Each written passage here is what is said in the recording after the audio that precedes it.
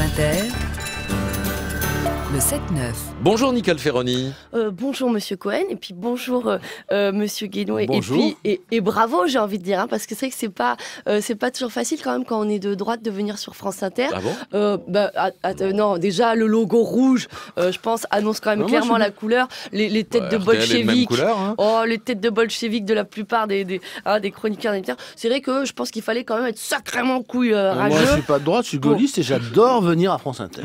Oui, mais C'est vrai eh, j'ai trois minutes de chronique, donc si vous parlez, ça va être compliqué. J'en profite pour allonger mon temps de parole. Euh, oui, donc voilà. Donc vous, vous êtes venu, hop, hein, comme je disais, sacrément couille euh, rageux euh, pour voilà d'être venu. Vous êtes là, hop, je me présente, je m'appelle Henri. Je voudrais bien euh, vous dire un peu ce que je pense. Et c'est vrai que voilà, moi pour moi c'était presque déconcertant parce que je vous connaissais peu. Alors je me suis longuement renseignée sur vous, euh, à savoir que j'ai demandé à ma mère qui vous étiez, et elle m'a dit, tu sais, c'est celui qui a l'UMP à la petite mèche. Je pourrais presque le dessiner. Donc ça c'est un point très positif parce que si on peut vous dessiner, ça veut dire que vous avez un contour quand même qui est très net. hein, C'est-à-dire que vous êtes quelqu'un qui donne cette image voilà, de, fixe, de solide, de résistant. Et c'est justement ça l'opposition, hein, finalement. C'est opposer une résistance au courant politique adverse. hein. notamment, vous l'avez très bien fait pour le, mariage pour tous. Alors même c'est vrai que certains sont moqués parce que soi-disant vous avez appuyé sur la, touche pour. Je veux dire, vous, dans, dans, votre, dans, votre, dans vos dires, dans votre verbe, vous avez été très clair dans votre position. Ne serait-ce que votre patronyme, Guéno, hein, très explicite quand même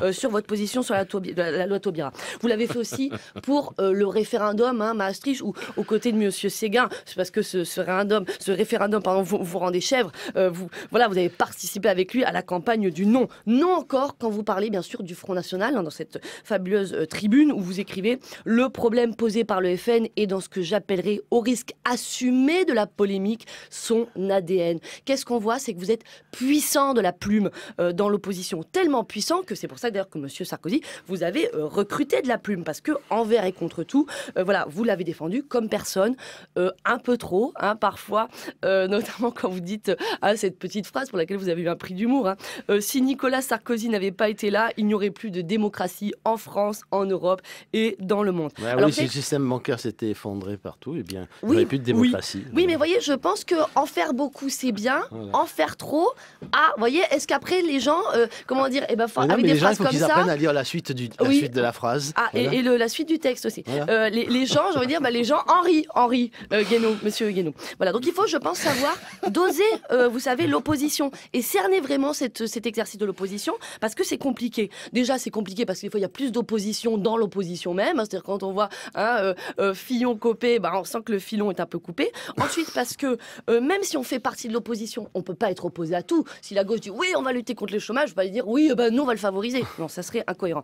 Et Nous puis, sommes d'accord. Surtout, il faut trouver un sens euh, à l'opposition. Et finalement, c'est ça qui est compliqué, parce que l'opposition, c'est un peu arbitraire. Aujourd'hui, vous êtes saumon, mais avant, vous étiez rivière. hein. Avant, c'était euh, vous, la majorité, qui donnait, euh, qui donniez le, le- le sens comme ça. Et ça, c'est le problème de la politique. Trouver finalement une direction commune, vous voyez On a l'impression en politique, il y a des cases. Il y a la case droite, la case gauche, la case verte. Et puis, chaque case va dans son sens. Et c'est pour ça que les gens disent des politiques, mais il leur manque une case, celle du bon sens. Il faut trouver du sens à C'est l'opposition. pas bête ce que vous Et dites. ben non, c'est pas bête. Pas bête Euh, du tout. Vous voyez, je pense qu'il faut pas, il faut pas. Oh, mais vous allez me laisser parler.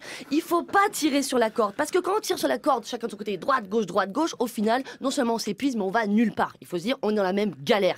Et là, dans la même galère, C'est ça bien. marche. Dans le même bateau, parce que là, si c'est vrai que si un bateau on rame tous que à droite ou que à gauche, le bateau il, Il tourne, tourne en rond, bien. Voilà, donc droite, gauche, droite, gauche, et là, le bateau ira de l'avant. Donc moi, je voulais vous dire une chose. Et ben, cessons de tirer sur la corde et puis peut-être ramons ensemble. C'est une bonne idée. Nicole Ferroni, merci beaucoup. Eh, Et à la semaine sportif, prochaine. hein. Oui. Ah ouais, non mais vous êtes arrivé au bout quand même. hein. C'est vrai. Vous avez pu en placer quelques-unes.